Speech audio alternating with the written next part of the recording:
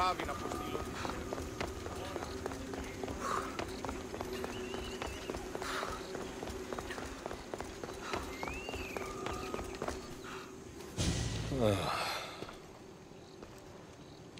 Es sieht so friedlich aus von hier oben. Ah, so wirkt es immer. Aber zu oft trügt der Schein. Ich weiß, Ikaras. Ich bin auch müde. Ich habe so viele getroffen. Archonten, Könige und nun Isu. Sie sind alle gleich. Tu dies, bring mir das, töte den da. Ich weiß nicht, ob ich so weitermachen kann. Würde ich herrschen, würden die Dinge ganz anders laufen. Was sagst du, Ikaros? Der neue Herrscher soll eine Rede halten.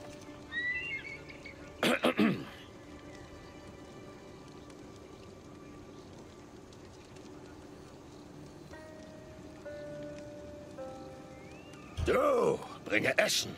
Du, bringe Wein. Heute Nacht essen wir, bis unsere Bäuche so rund sind wie der Mond. Ah, das klingt doch gut. Ich habe keinen Wein, aber ich habe dir Brot gebracht. Würdest du mir helfen? Du solltest dich nicht so an Leute anschleichen. Verzeih. Ich wollte die Rede des Dikastes nicht unterbrechen. Ach, naja, es war eher ein Schauspiel.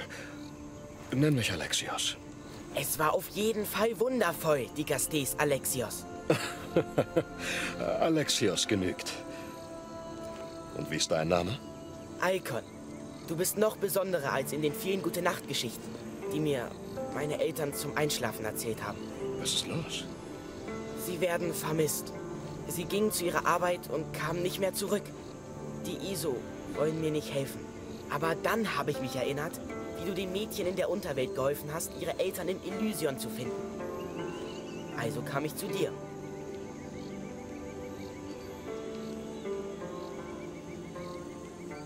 Ihr Name war Phoebe. Wir waren gute Freunde.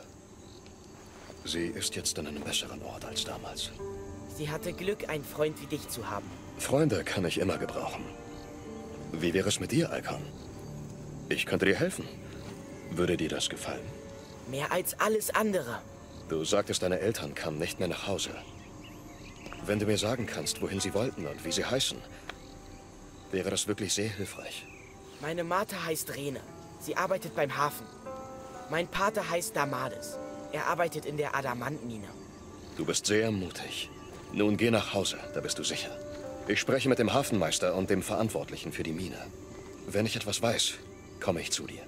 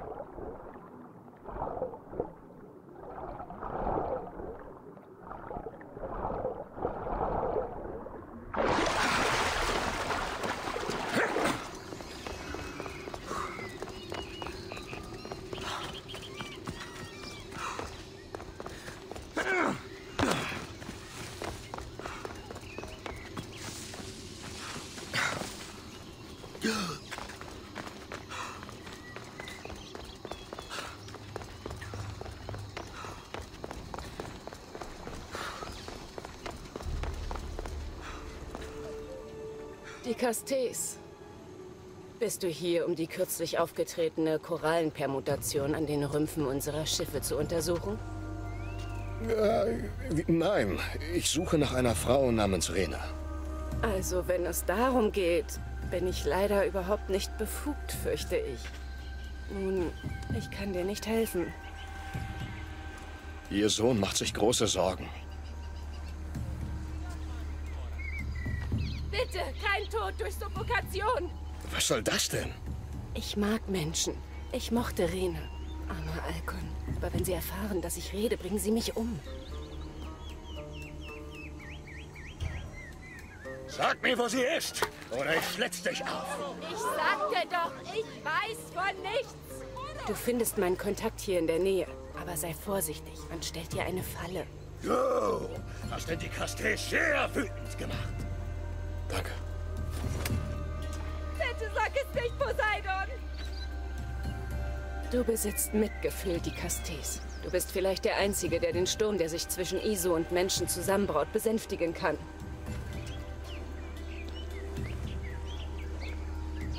Ach.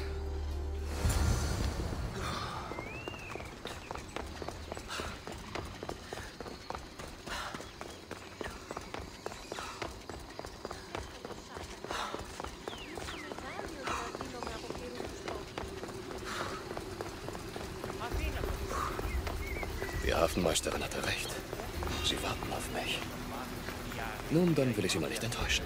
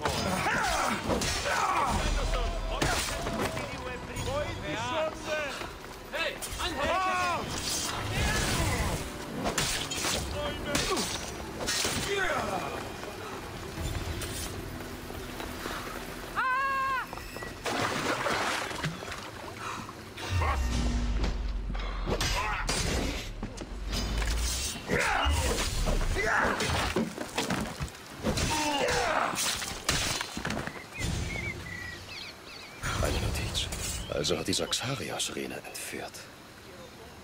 Ich werde ihn finden.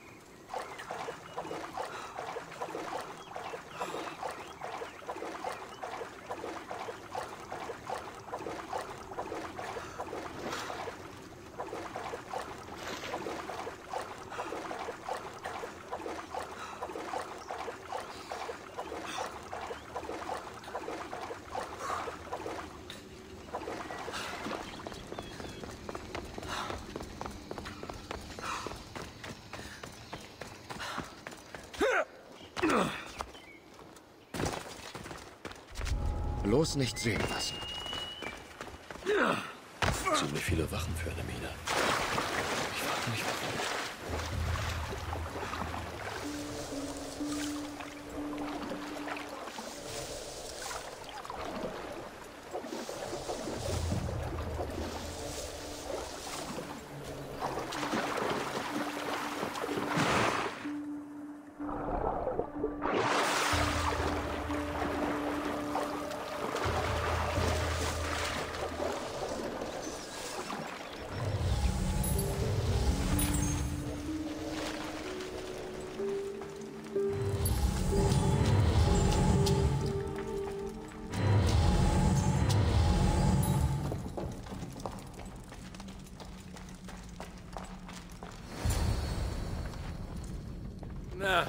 Wenn das keine Ehre ist, wie kannst du an den Wachen vorbei? Ich suche nach Damades. Warum sollte der große Dikastes nach einem vermissten Menschen suchen? Ich sagte nichts von vermisst. Sehr schlau. Hybrid. Wenn meine Menschen Adamant zur Testkammer bringen, kehren sie nicht immer zurück. Manchmal fallen sie wohl einfach in die Spalten. Die Ratten. Ein kleiner Junge sorgt sich um seinen Vater. Sag mir einfach, wo sich diese Testkammer befindet. Mitgefühl für Menschen ist unproduktiv. Und dein Hass auf Menschen ist selbstzerstörerisch. Ah, nun gut. Sie befindet sich im Garten der Kymopolia. Aber du verschwendest deine Zeit. Sie ist verschlossen. Dann muss ich nur den Schlüssel finden. Versuch es doch, Hybrid. Menschen wie Ungeziefer zu behandeln, bringt dich eines Tages unter die Erde. Sei froh, dass dieser Tag nicht heute ist.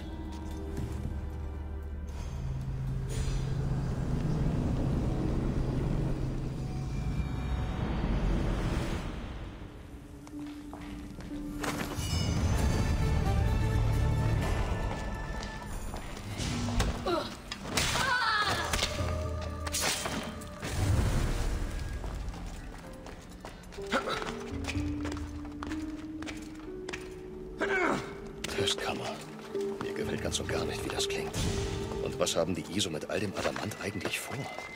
Alcon fragt sich sicher, wo ich bleibe. Ich sollte...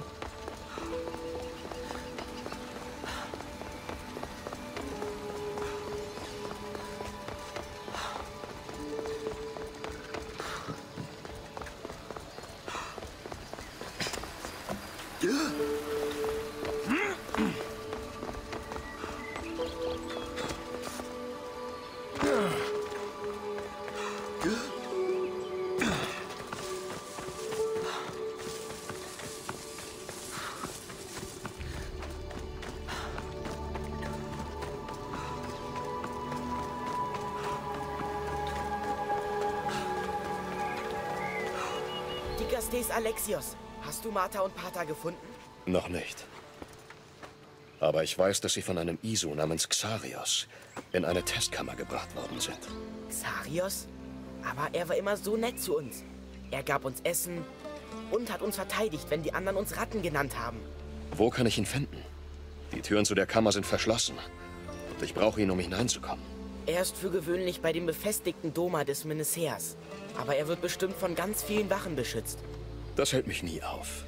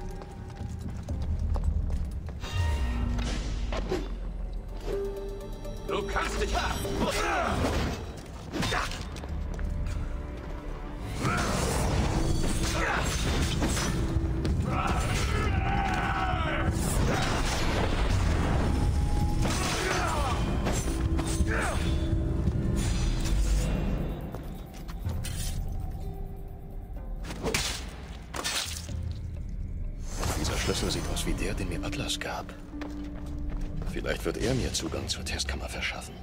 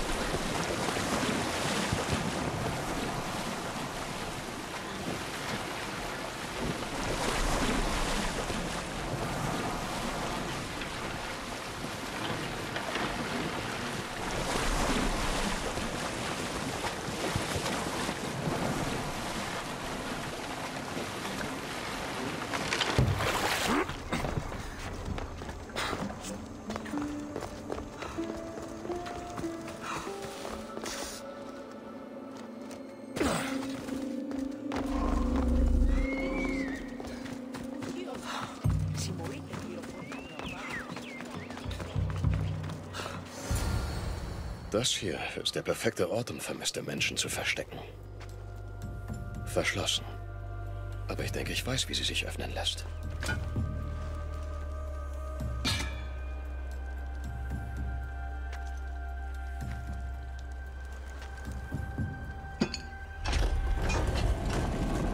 Je komplizierter der Schlüssel, desto größer das Geheimnis.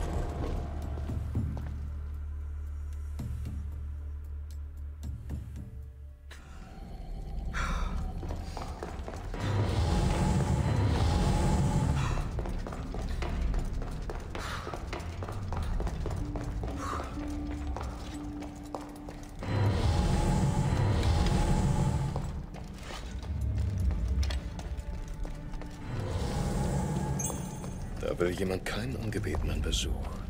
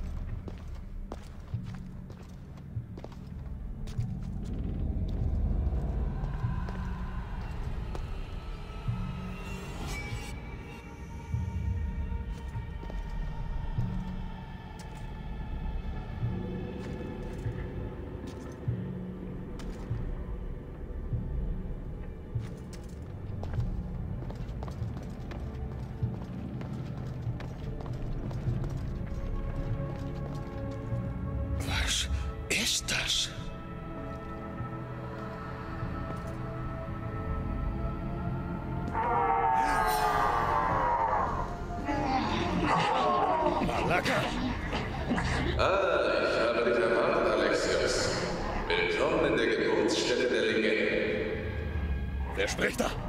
Los, zeig dich! Mein Name ist Äther, ich bin Wissenschaftler.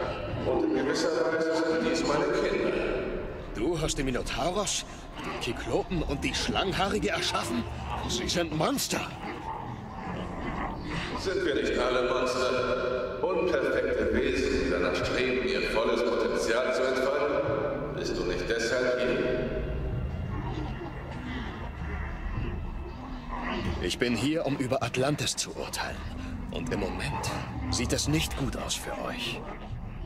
Sieh genau hin.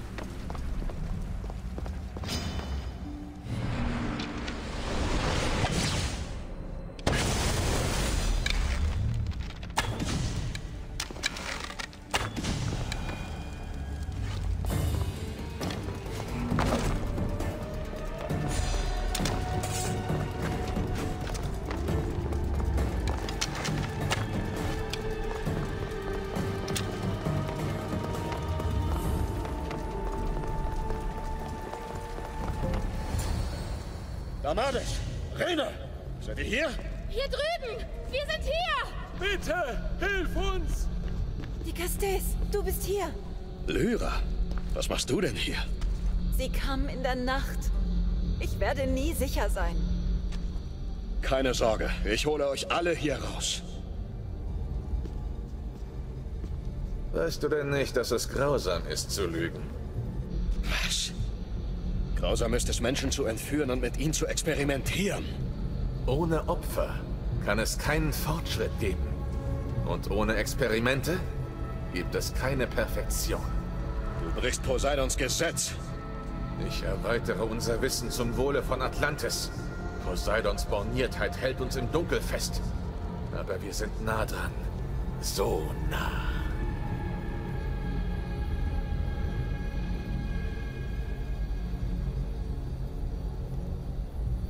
Klügsten Köpfe, die ich traf, flüchteten sich nicht in Gewalt. Hätte dein Durst nach Wissen nicht beinahe das Elysion zerstört? Lass diese Leute gehen. Es ist zu spät für sie. Das Olympus-Projekt hat bereits begonnen. Als ein Mensch vor dem Ende der Transformation entkam, mussten viele andere sterben. Das wird nicht wieder passieren. Das verstehst du sicher. Nun, dann sahst du, zu welcher Bestie sie wurde. Ich hole die Menschen hier raus. Aber willst du nicht wissen, was hinter dieser Tür ist?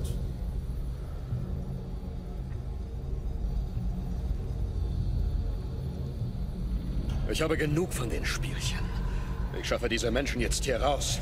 Du lässt also zu, dass dich deine kleingeistige Moral am Vorankommen hindert? Und wenn ich dich einfach töte, diese Menschen hier befreie und diese verdammte Tür einfach aufbreche?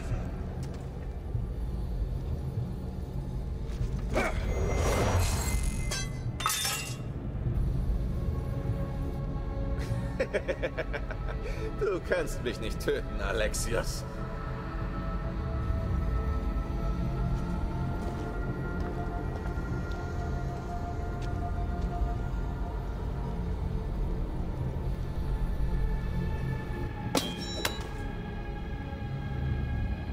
Ich sehe, du kämpfst mit dir. Was, wenn die größte Errungenschaft von Atlantis hinter dieser Tür wartet? Und wir sie dir verdanken? Was willst du damit sagen? Dieser Weg führt zur Unsterblichkeit. Für dich. Für uns. Begrüße dein Vermächtnis und vergiss diese armseligen Menschen. Lass die Sterblichkeit hinter dir. Die Antworten auf all deine Fragen liegen hinter dieser Tür. Bitte, rette uns oder wir sterben. Du wirst wiedergeboren! Willst du nicht wissen, warum du wirklich hier bist? Befreie diese Leute und diese Tür wird dir auf ewig verschlossen bleiben. Gehe hindurch und sie wird sich hinter dir schließen und diese Ratten gehören mir. Wie entscheidest du dich für ihr Leben oder dein Schicksal? Scheiß auf deine Tür. Ich versprach einem kleinen Jungen, seine Eltern nach Hause zu bringen. Und genau das werde ich tun. Sehr enttäuschend. Aber egal. Wenn Atlantis zwei Dinge im Überfluss hat, dann Adamant und Menschen. Kommt, verschwinden wir von hier. Danke, die Castis. Ich werde Alcon wiedersehen. Beeilung.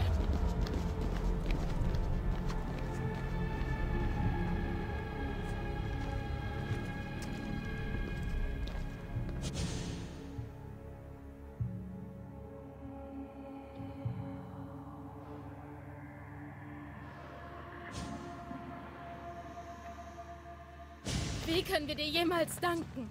Sag deinem Sohn, falls ihn jemals ein Isor Ratte nennen sollte, wird sich die Castis Alexios um ihn kümmern.